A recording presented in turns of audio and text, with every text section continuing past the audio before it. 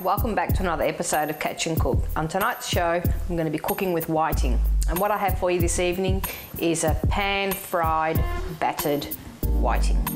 So, firstly, what I'm going to do, I've got two beautiful pieces of um, fillets, which I'm just going to coat in some flour. Now, I'm just going to add a little bit of salt to my fish.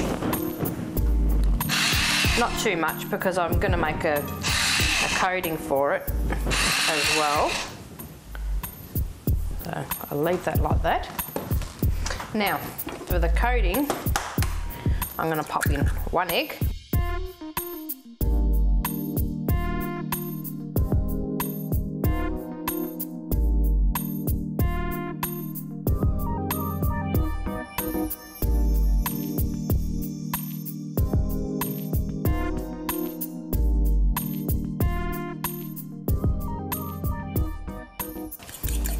Now we're just going to give this a stir, just to mix all those things together. Okay, now the batter's ready there. So what we'll do, pop our pan on and let that warm up. Okay, my oil's hot. I'm going to grab my fillets,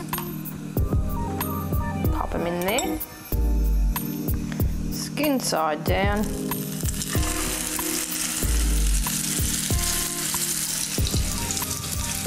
Now we'll just let these cook so they're golden brown on each side, which probably only take a couple of minutes.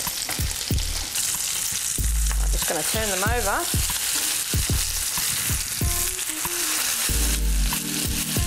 Now they're ready. I'm going to take them off.